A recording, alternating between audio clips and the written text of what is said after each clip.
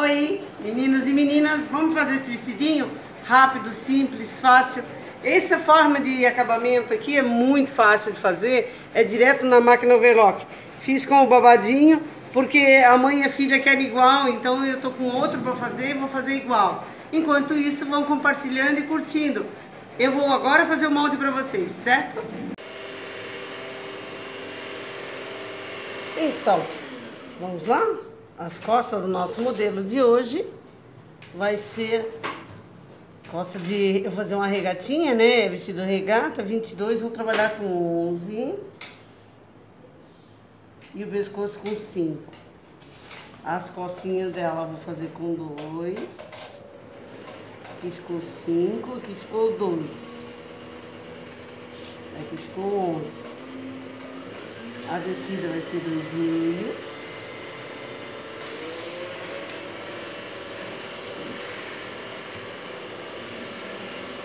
A cava, vou fazer com o mesmo 11, que é pra gente seguir o padrão que eu vinha fazendo até agora, né?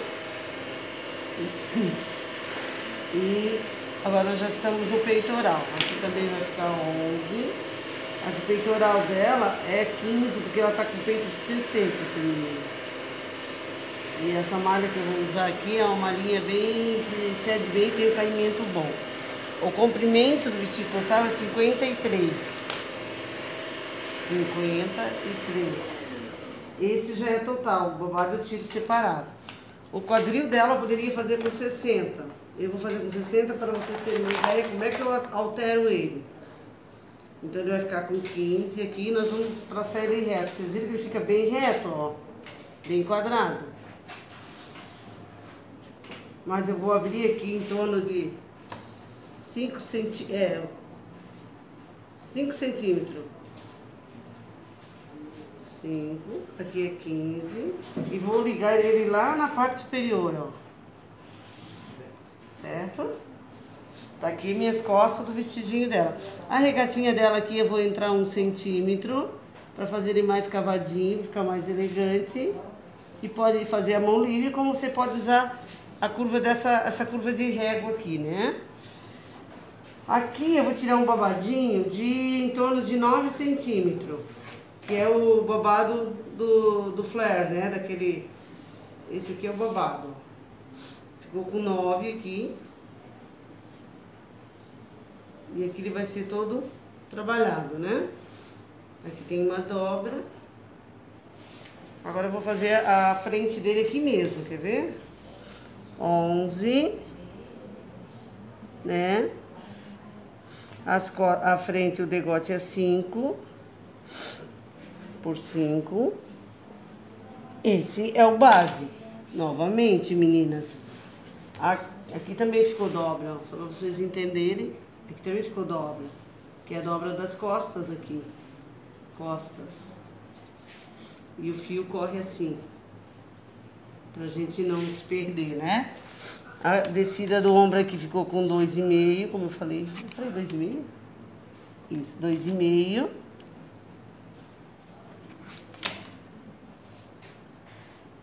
Eu vou descer de novo a cava com 11.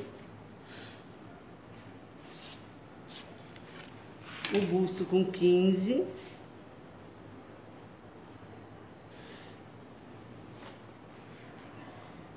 E o comprimento com 53 novamente.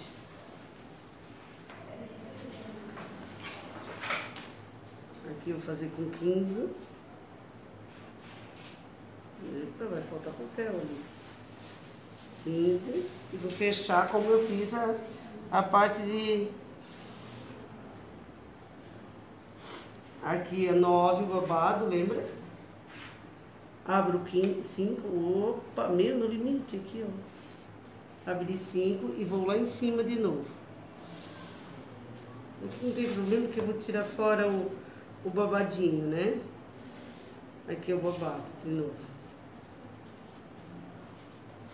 A nossa cava aqui eu entro um centímetro para ficar. Aqui também entrei um centímetro.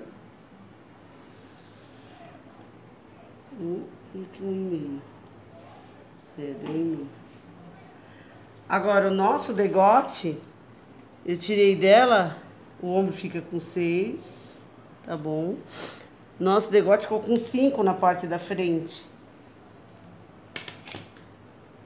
Então, ele vem daqui, termina aqui. Aqui é dobra. Da frente. Certo, meninas? Agora eu vou recortar para vocês verem como eu faço esse babado. Então, eu vou recortar aqui o babado fora. Esse, como o babado da frente e das costas são iguais, eu posso usar o mesmo babado. Eu quero esse, eu, é, é, é, bem parecido com o babado da, da, daquela que a gente fez na, na saída de praia, mas esse eu quero bem, ele bem babado. Né? Então ele vai ficar bem legal. Esse aqui é a parte da frente, eu vou cortar ele novamente para mim fazer ele dar leveza nele. Esse tamanho é um tamanho também 4 anos. Para a mesma menina de 4 anos. Na verdade, eu gosto bastante para ela. Porque sabe como é, né? A gente é vó, vó é tudo igual. Eu precisava, acho que, dessa fita.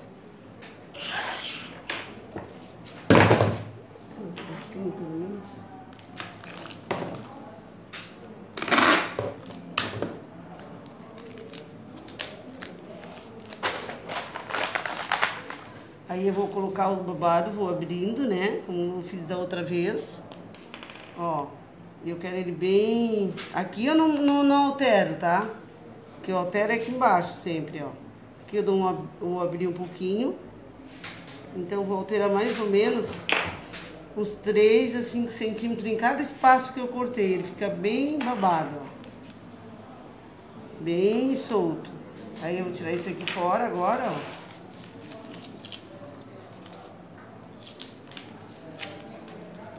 E agora sim, eu vou poder redesenhar ele.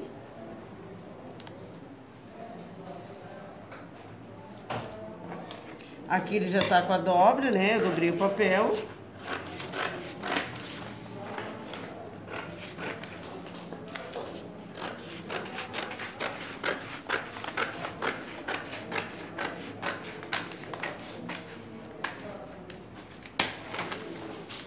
Fica bonito você colocar dois babados, um mais longo e um pouco mais curto, fica muito bonito.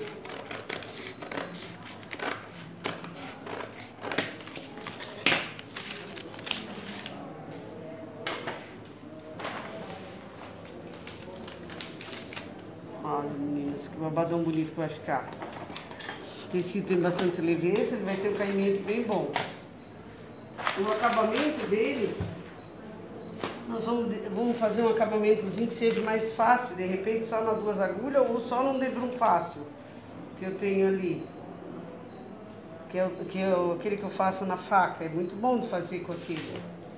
Ó, lembrando que quando nós trabalhamos novamente, meninas com listra, temos que respeitar nossas listras.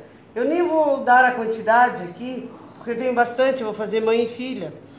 Ah, esse aqui, para esse tamanho, meio metro já dá para... Não, meio tem 53, não, meio, 50, 60 centímetros já dá. Porque o vestidinho já tem 53 de comprimento. Então nós vamos ter que casar a listrinha aqui, ó. Pra ele ficar bem... Pra hora que nós talhar, ele fica assentar certinho, né? Se você tem uma preocupação que ela não para no lugar, Pode alfinetar ela, isso é fácil também daí. Dá uma alfinetadinha ele já resolve. Vou tirar a frente aqui. Marca ela em volta, se você achar mais fácil para você montar ele depois. Né? Recorta. E você vai fazer frente e costa da mesma forma. Só vou deixar a margem bem fininha de costura, porque é, é só na overlock. Então não, não requer muita margem de costura. Aqui não tem problema de deixar um pouquinho mais de margem. Nunca trabalhando nessa listra, né? Isso.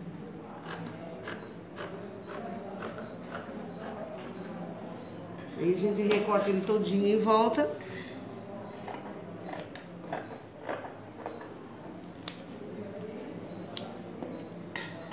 Frente. Quando eu talho sempre na peça, eu procuro sempre levar nesse mesmo, nesse mesmo formato, na mesma linha em que eu estou talhando. Ele fica mais econômico o tecido e, e você pega sempre o mesmo correr do fio, certinho. Para quem não sabe, o correr do fio é importante porque ele corre da mesma forma que corre o corpo da, do, da pessoa. E ele é visto pelas, pelas aurelas, né, as laterais do, do vestido. Aqui é sempre bom a gente colocar o outro para ver a listra se vai bater onde eu quero. É, tem tudo isso na listra ainda. Aqui, eu queria a listra bate aqui certinho onde eu quero, ó. Pra hora que eu, que eu casar a lateral, ficar certinho.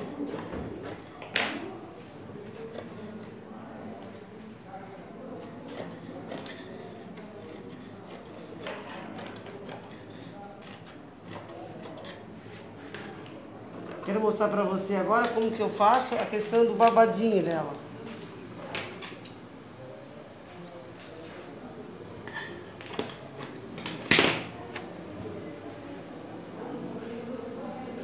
Como aqui é listra, agora não tem problema como ele vai ficar, ah, o babado se vai ficar com o fio correndo para qualquer lado, não teria problema, ó. Então, vai ficar da mesma forma, não tem muito que que nós inventar com ela aqui. Vamos prender ela aqui um pouquinho para não ter problema.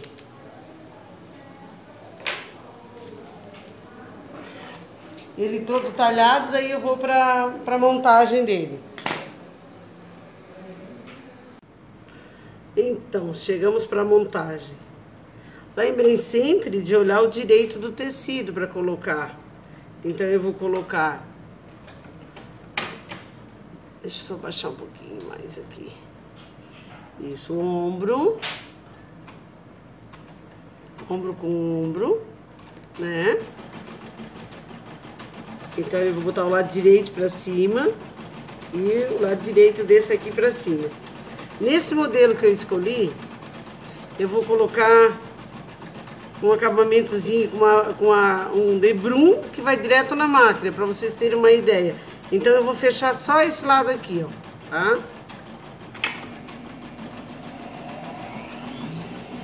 Pode ser costurada na, na, na máquina reta, vou costurar na overlock porque é mais. Ó. Isso aí, ó, tá um ombro fechado. Agora eu tenho um ombro aberto o da frente e um ombro de trás aberto, ó. Os dois lados dele estão abertos, ó. Esse lado aqui. Então eu vou passar o debrum daqui e volta tudo. Esse debrum que eu fiz aqui, ó, essa faixinha. Mas antes dela, de passar ela, eu vou fazer ela, preparar ela na máquina overlock primeiro. Né? Ó, eu vou dobrar porque eu deixei a listrinha branca. Eu vou fechar ela primeiro e vou levar ele fazendo todo o acabamento dele primeiro.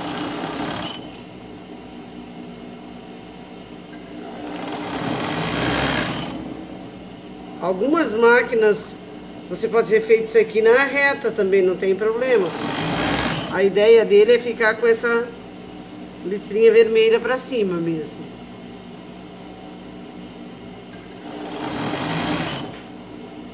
Então eu faço todo a faixinha, deixo essa faixinha pronta.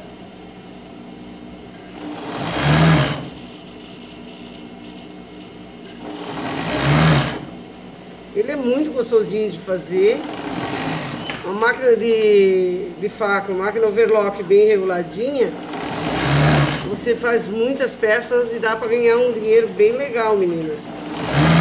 Dá para fazer para as amigas, para as filhas das vizinhas. Isso aí, botar na sacola e sair vendendo por aí para quem tá. Tem umas, tem umas seguidoras nossas que estão paradas, que não estão trabalhando. Vamos fazer para ganhar dinheirinho agora para o Natal. Agora você vai fazer o seguinte, aqui ó, com essa minha faixinha na mão. Pronto. Eu estou com o lado direito da, da peça. Deixa eu só tirar, porque como ela é preta, ela atrapalha um pouco. Aqui é o lado direito dela, né? Aqui tá o ombro onde eu costurei. Então eu vou vir com a minha faixinha, se eu quero a listrinha dela pro lado direito também, Deixa eu pegar do outro lado, ó. Se eu quero que ela fique assim depois, ó, com a lista pra cima aqui, então eu vou ter que virar ela ao contrário, eu vou ter que beijar direito com direito. Então eu começo nesse lado aqui, ó, aqui nesse ombro. Nesse ombro aqui eu vou começar, ó. E vou costurar ela. A, a peça que eu devo puxar é só um pouquinho da, da faixa. Levemente, levemente, não é para puxar muito, ó. Levemente uma esticadinha. Aqui. Aí você vai costurando ela em volta, levemente puxada, né? Procura ser fiel à largura. Olha só. Fica um acabamento bonito, fácil para quem não tem a máquina de duas agulhas. Às vezes você está trabalhando com liganete, com poliviscosa, uma viscolaicra, ele é um pouco mais, mais molinho, né, assim, para você trabalhar. Mas se você usar esse tipo de acabamento, é fácil de trabalhar com ele daí.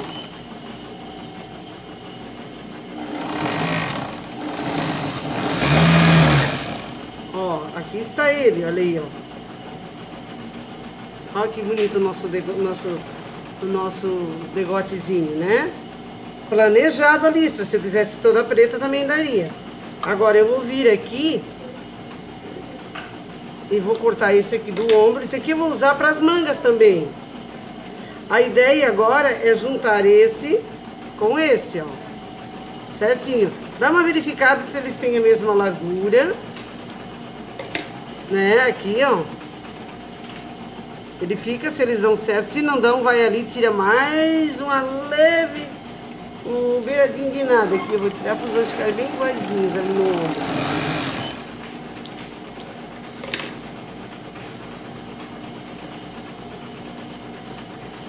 Certo? Aí eu vou mostrar pra vocês uma coisa. Alguém tem máquina de overlock? Quem tiver máquina de overlock, tem esse negocinho aqui, ó, que encaixa, né? Quando a gente abre, tem esse negocinho que encaixa, né? Você dá uma puxadinha, segura essa faixinha que sobrou, levanta o pezinho e traz e prende aqui, ó. Isso é o arremate, para quem não conhece. É para fazer esses acabamentos aqui, ó. Daí ele fica mais bem acabadinho. Mas também, se ficar, vai com a, com a agulha para dentro. A gente consegue fazer de outra forma. Vamos ver se fica bom. Se não ficar bom, a gente desfaz e faz de novo. Ó. Aí ele fica com esse acabamento aqui bem feitinho, certo? Ó, meu ombro tá pronto. Tá do avesso, mas tá pronto. Agora eu vou repetir isso mesmo na, nas mangas também.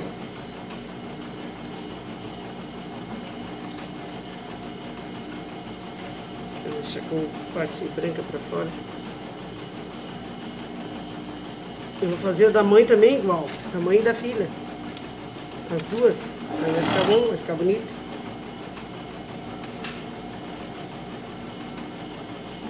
Aqui para o sul tem bastante malha para vender, então a gente consegue fazer modelos bem bonitos e fáceis. Mesma coisa a manga, olha aí, ó que é a calistra contrária, né?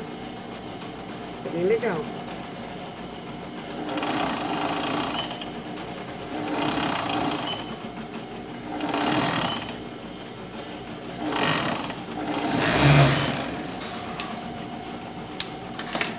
Feito a manga, colocada também. Agora vamos para a outra manga.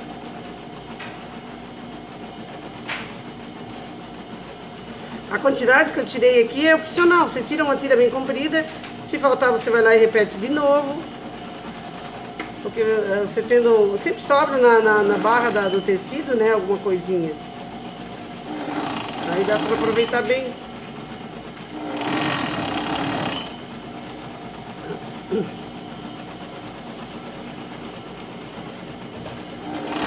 Tô levemente puxando de novo, meninas, igual fiz no pescoço ali, tá? Não muito, mas uma leve, para não ficar muito dançando, né? O degote vai ficar muito, muito bobo.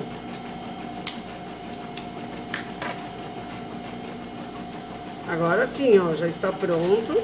Mangas e degote. Ó, ele não fica bobo, ele fica certinho. Né? Agora eu vou fechar das duas laterais, vou virar na esquerda de novo, o avesso pra fora e vou também fechar na lateral. Posso fazer o mesmo processo do, do, do arremate ali. Encaixo bem certinho. Agora vou procurar casar as listras. Que é danadinha, mas eu vou tentar casar. Colega, ele descer ali. Isso.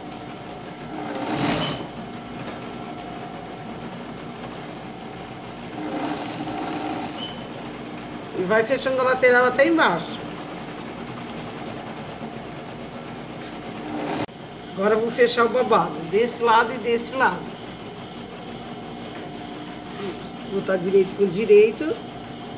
Fechei os dois lados do vestido, agora vou fechar os dois lados do babado. Né? Se quiser casar a listra aqui, se der, a gente casa, mas também não é uma, uma necessidade, né?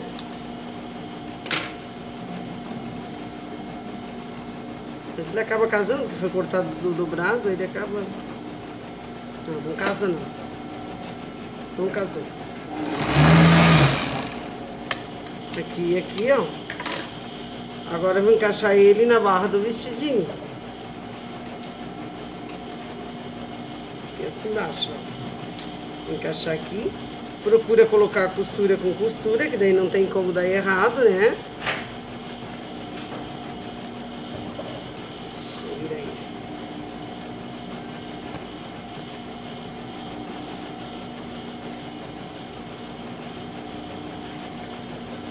Lateral com lateral.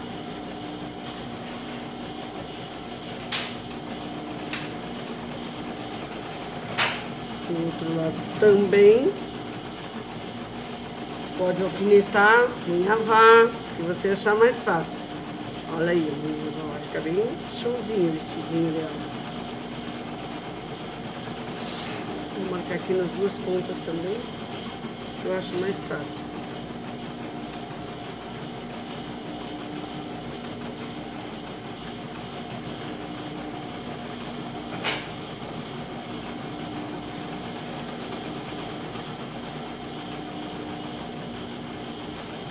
Eu, eu alfineto tudo, passo a faca aqui em volta, daí ele já está pronto para fazer a barra.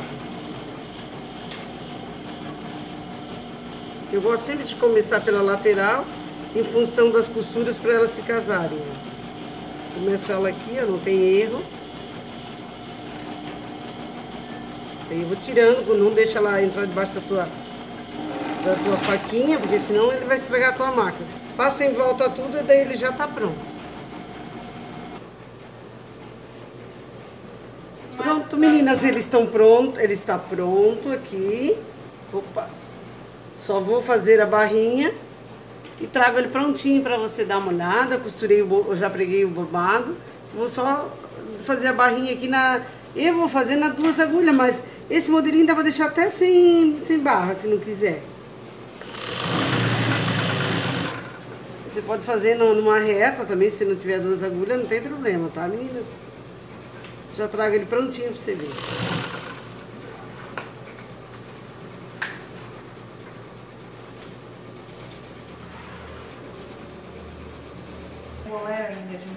Então, meninas, tá aqui, ó. Prontinho, vai lá, compartilha. Depois eu vou trazer eles com a da mamãe junto, que é mãe e filha, né? É isso aí, meninas. Tchau, tchau.